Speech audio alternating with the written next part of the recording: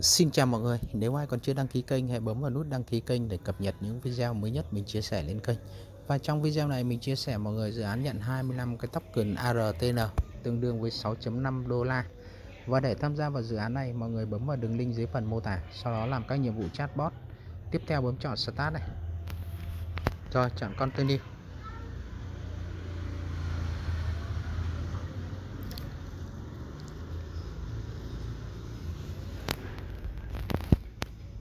Tiếp tục, mọi người sẽ nhập cái kết quả phép tính nhé rồi, sau đó sẽ làm các nhiệm vụ ra vào telegram. Và tiếp theo, mọi người bấm vào cái dòng Anmutemi này. Ok, quay trở lại. Giao tiếp vào kênh channel của nó.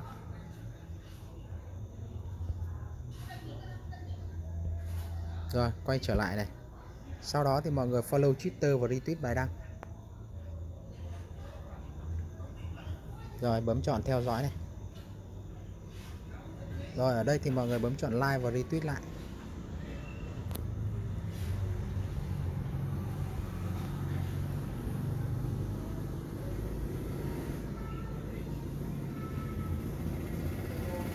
Chọn tweet lại này.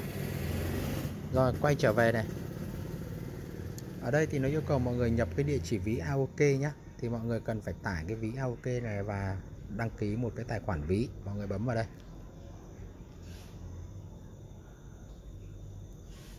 Rồi, ở đây thì ai có iOS thì bấm vào iOS, ai có Android thì bấm vào Android.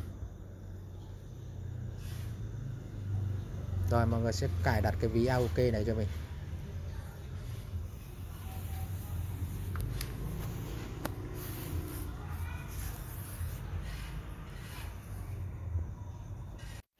Rồi, sau khi tải và cài đặt xong, mọi người mở ra nhé.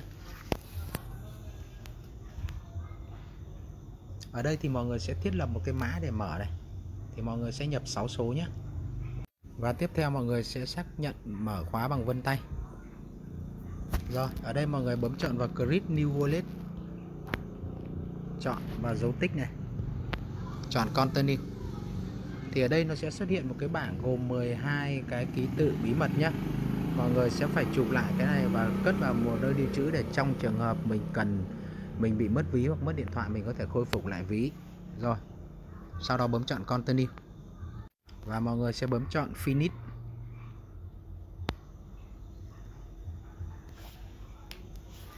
Và chờ một chút để nó khởi tạo ví. Và như vậy là mọi người đã tạo xong một cái ví AOK nhé rồi, ở đây thì mọi người sẽ bấm vào mục deposit này cho mình. Thì ở đây nó sẽ có một cái địa chỉ ví, mọi người bấm chọn copy này.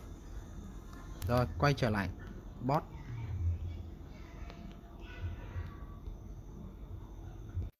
Rồi, mọi người bấm chọn đôn này. Tiếp tục chọn đôn. Sau đó thì mọi người sẽ follow hai cái kênh Twitter này và gửi cho nó username của Twitter nhé. Rồi, kênh này đã theo dõi. Quay trở lại đến kênh thứ hai. Mọi người bấm chọn theo dõi này quay trở lại. Nhập username của Twitter.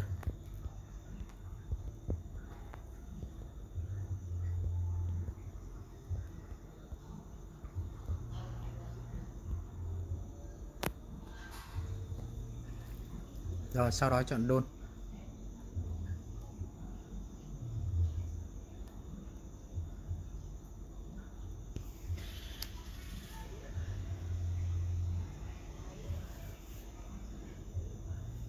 Rồi, tiếp theo thì mọi người sẽ gửi cái địa chỉ ví này.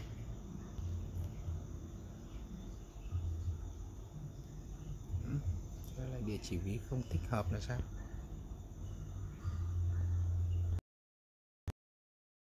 Ok, mọi người nhập địa chỉ ví AOK vào là xong nhé bởi vì là lúc trước mình nhập nó có cái chữ E vừa chữ F và khi gửi lên nó thành chữ E và dấu sắc nên là không hợp lệ.